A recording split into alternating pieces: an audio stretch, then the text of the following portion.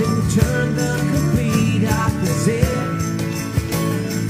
Would I have anything left?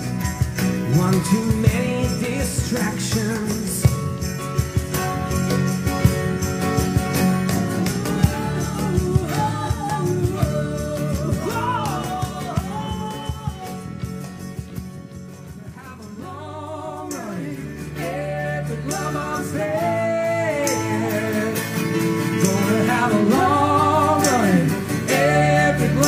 stay.